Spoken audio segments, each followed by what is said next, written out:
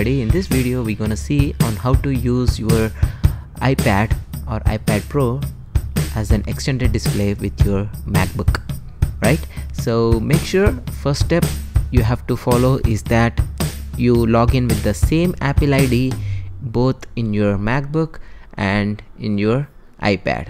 So how to verify that? Go to the system settings here and on the top you should see you log in using your email address or phone number and this has to be the same login ID in the iPad as well. Once you have this you can close this and you go and click on this uh, on this options button on the top here and then click on the screen mirroring. So here you should see your iPad. If you don't see that uh, click on the display settings and in the display settings uh, you can click on this little drop down here and there you should see your iPad. Once you see that then um, you can add as an extended display. So right now I don't have it I disconnected my iPad and this works. Everything via Wi-Fi or Bluetooth I don't know but it works magically without any uh, connection to your MacBook and iPad there is no wire connection there. It all works uh, just like that magically. And you can even arrange those um, displays the way you want. Right now I've disconnected so I'm just trying to see how to connect it again. Uh, just give me a couple of minutes here. I'm trying to figure out. Uh, I'm verifying if both the places I have the same account I just verified. So sorry about this. Now let's go here and click on screen mirroring and uh, display settings. I don't see that coming here. I came to know that uh, the charging in the iPad has to be at least about 20% like it shouldn't be in the low power mode. In that case you don't see this option of the iPad. That is one thing to consider. And another thing is that make sure you have the settings turned on on the iPad.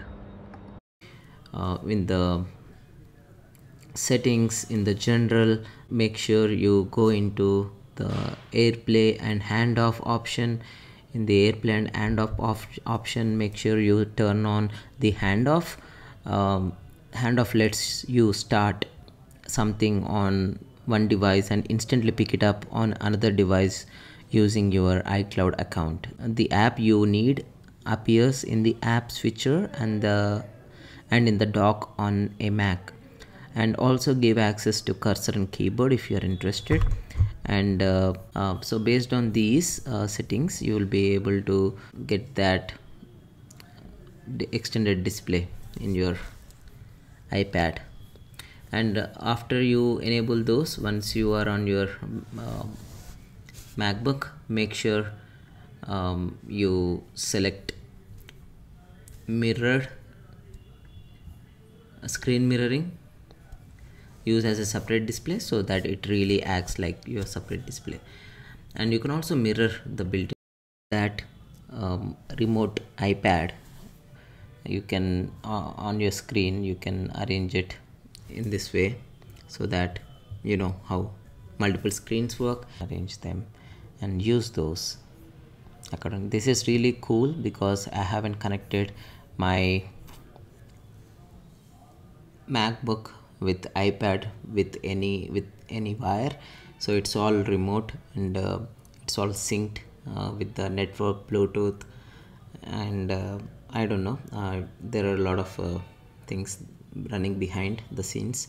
So this acts as a remote extended display which is really cool um, feature of macbook. Alright uh, if you have any questions please put them in the comment. And this is all for today. Thank you